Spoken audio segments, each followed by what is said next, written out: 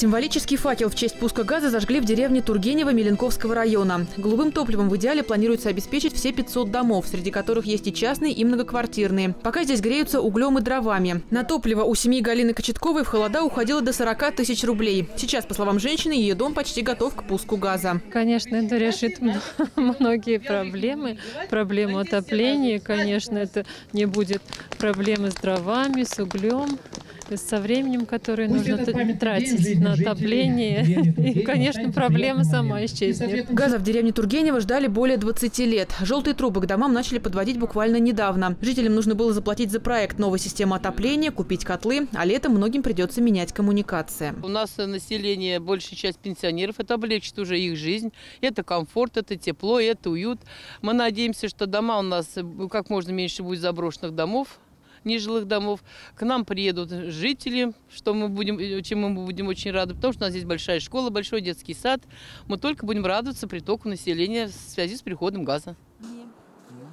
В деревне уже три года функционирует новая котельная. Топится она торфяными брикетами и опилками. Затраты на ее постройку составили 51 миллион рублей. Пока от котельной запитаны детский сад, школа и многоквартирные дома. С подведением газа она может остаться невостребованной. Но, по словам главы Меленковской администрации, котельную можно переоборудовать. Газ пришел. Переводить. Нужно что-то делать.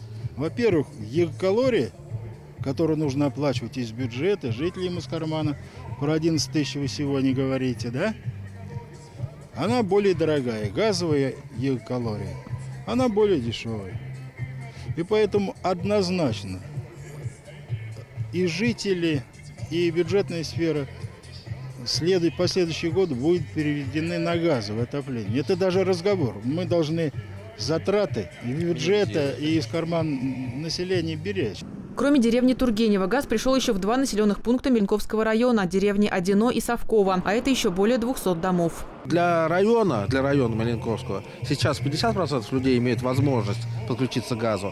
После ввода этого газопровода станет 51%, станет 61%. Воютина сделаем летом будет 63%. И газопровод, который в этом году начинаем по Пулинской зоне, в следующем году закончим еще 34 километра. И станет, э, появится возможность у 74% жителей Маленковского района пользоваться газом. Когда закончится отопительный сезон, начнется основная подготовка к пуску газа непосредственно в дома. Стоит отметить, некоторые Некоторые жители Меленковского района, инвалиды, одинокие пенсионеры, малоимущие семьи за подведение газа получили компенсацию из бюджета – 22 тысячи рублей. Екатерина Гаврилова, Виталий Сергеев, Губерния 33.